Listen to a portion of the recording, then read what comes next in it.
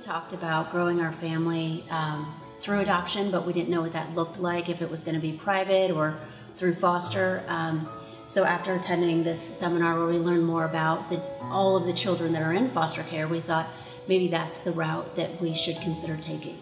A big portion of that training was helping us prepare ourselves and our two birth children for that. The boys were just very excited. They couldn't wait and they immediately, um, upon meeting, they just ran up, hugged each other, and began playing like they knew each other from the very beginning. It was it was a lot of fun. He laughed and laughed, and at the end of that play date, they were sad and they hugged him and said, um, "We'll see you again soon. Okay, we love you." If anything, um, Luke and Levi are um, more loving, more open. They understand that love has no limits. They understand that love is unconditional and um, they show us that every day. So they've both um, really embraced being a big brother and caring for Nicholas like he was, you know, their their own brother. So it's pretty amazing.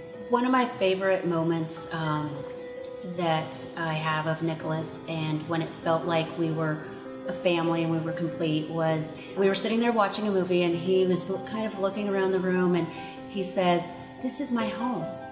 and this is my mommy, and this is my daddy, and this is Levi and Luke, and I love my home. And I, we just, we kind of looked at each other and we thought, he, he gets it. He really, he, it's his home and he knows that. And every time we would pull into the driveway, we're home, here's my home. And so everywhere we go that's familiar, this is my school, this is my church, this is my home, this is my brother. And, you know, it can be a little repetitive, but that first time that he said it was just really melted my heart and we looked at each other and we knew we were complete.